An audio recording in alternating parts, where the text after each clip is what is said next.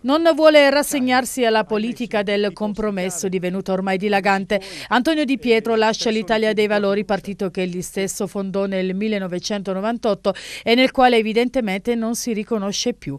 L'ex PM di Mani Pulite ha messo negli scatoloni tutti i suoi documenti, le sue cose che ancora erano nella sede romana del partito e se n'è tornato nella sua masseria di Montenero di Bisaccia, la sua oasi nella quale in passato si rifugiava per ritemprarsi dallo stress stress che la sua attività di giudice prima e di politico poi gli procuravano. La sua casa dove ha deciso di trasferire tutti gli atti e documenti dei quasi 900 processi che lo hanno visto protagonista ai tempi di Mani Pulite. Una scelta dolorosa la sua anche perché in diverse occasioni ha sempre detto che l'Italia dei Valori è come un figlio, ma ora è arrivato il momento di cambiare, cercare nuovi stimoli, ha detto, di sapere ciò che farò domani, non quello che ho fatto ieri. Ma Di Pietro non lascerà la politica, devo solo inventarmi darmi una nuova vita, ha annunciato un nuovo modo di fare le cose. Non torno a Montenero per chiudermi dentro. C'è da giurarci, tra qualche mese Antonio Di Pietro tornerà a far parlare di sé. Non è ancora arrivato per lui il momento di finire nell'oblio.